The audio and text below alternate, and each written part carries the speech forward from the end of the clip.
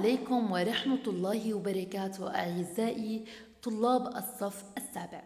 قمنا في الحصة السابقة بقراءة قصيدة الأيدي الماهرة وقمنا بتوضيحها وشرح المعاني والأفكار الرئيسية فيها.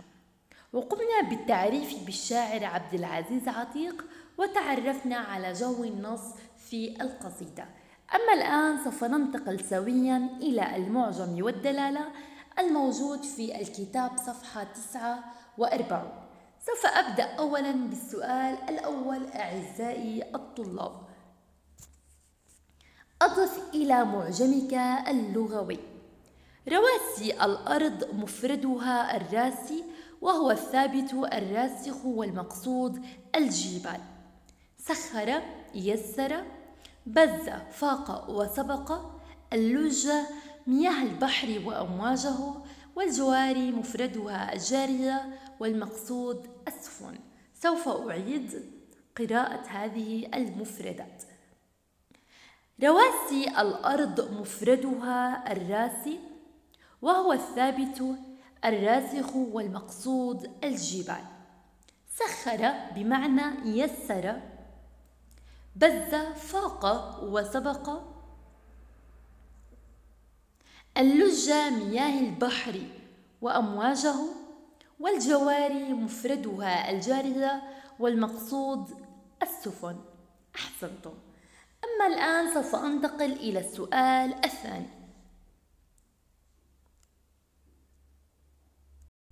سوف أنتقل الآن إلى السؤال الثاني. فرق عزيزي الطالب في المعنى بين الكلمات التي تحتها خط فيما يأتي. ألف. وألبسنا معالمها جمالا. ألبسنا هنا بمعنى زينا وغطينا وكسونا. بينما ألبس الأمر على الباحث بمعنى اختلط اشتبه وغمض. إذا وألبسنا معالمها جمالا بمعنى زينا غطينا وكسونا بينما ألبس الأمر على الباحث بمعنى غمض اختلط واشتبه. أحسنتم سوف أنتقل إلى الفرع الثاني من هذا السؤال. فمنا من يقيم بها قصورا. ما الذي يقصد بكلمة قصورا؟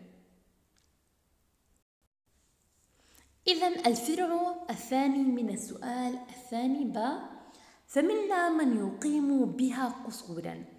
يقيم بمعنى يبني. بينما يقيم لؤي في منطقة جبل عمان بمعنى يسكن. إذا أعيد. فرق في المعنى بين الكلمات التي تحتها خط فيما يأتي. فمنا من يقيم بها قصورا بمعنى يبني بها قصورا. يقيم لؤي في منطقة جبل عمان بمعنى يسكن. أحسنت. أما الآن سوف أنتقل عزيزي الطالب إلى السؤال الثالث.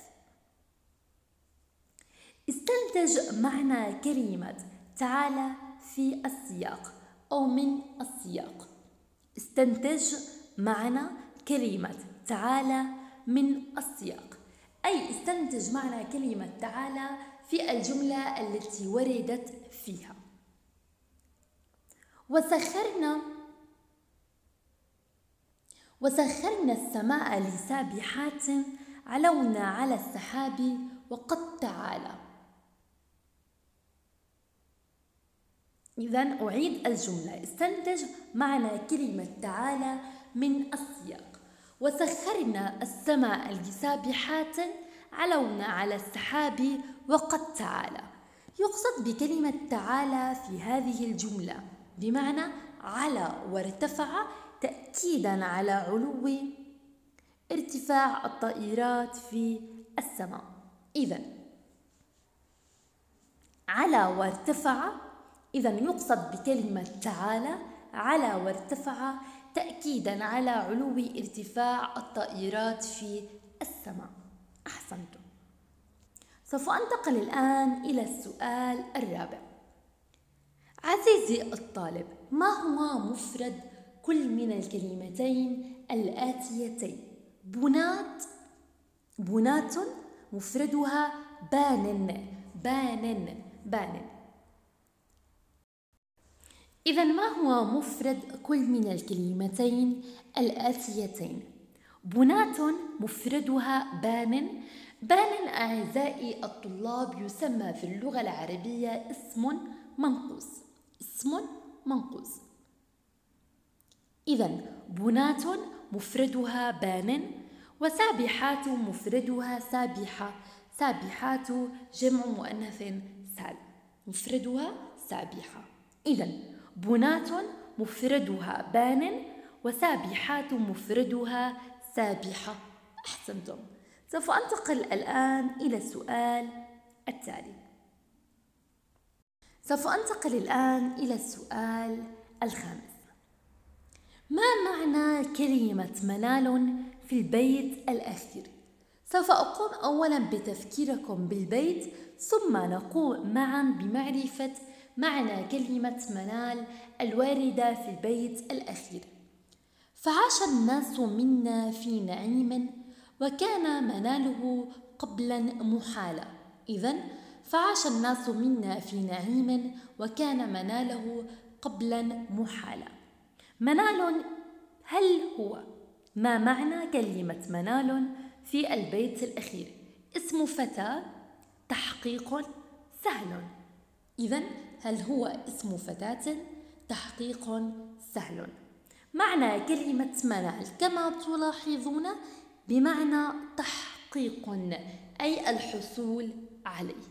منال أي تحقيق بمعنى الحصول عليه. أحسنت سوف أنتقل الآن إلى السؤال الأخير. استخرج من النص كلمات تناسب في معناها ما يأتي. استخرج من النص كلمات تناسب في معناها ما يأتي. أولا كلمة بنفس معنى مستحيل. كلمة بنفس معنى مستحيل.